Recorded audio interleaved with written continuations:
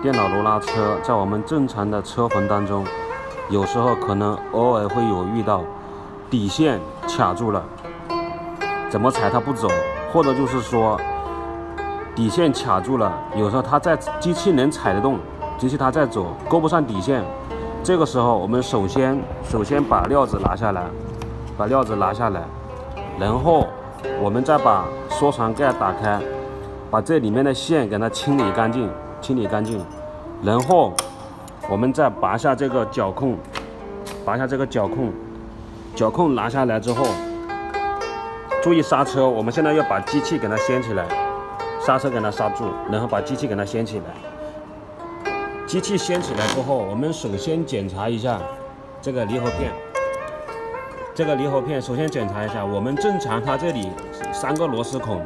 三颗螺丝孔会对住这个半圆，对住这个半圆。那我们问题正常问题就出在这里，有很有可能就是说这个离合器它已经错位了，离合器已经错位了。如果离合器已经错位，我们首先用一个三离三离的扳手插住离合器这一边，右手扳这个轮子，右手扳这个轮子，左手拿着左手拿到这里，然后。